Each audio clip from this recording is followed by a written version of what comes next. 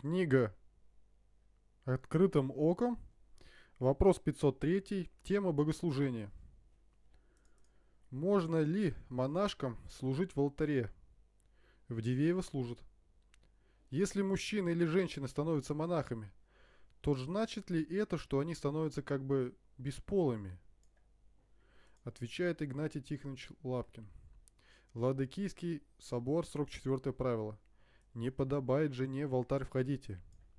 Слово «жена» в Библии имеет только одно значение – женский пол. Ибо и Божию Матерь Преснодеву Марию тоже называют женою.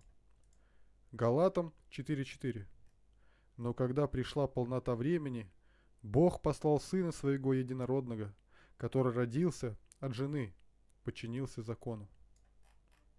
Если женщина оденется даже в царское одеяние или будет в костюме Евы, один день ей от рождения или она с фигумения, она все равно остается женщиной по признаку пола.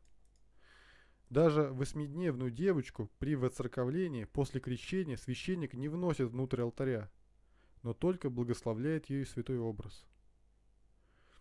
В древние времена игумении имели доступ в алтарь.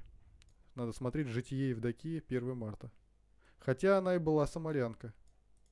Каноны, указывая на это, говорят, что хотя такое встречалось раньше, но отныне впредь да не будет.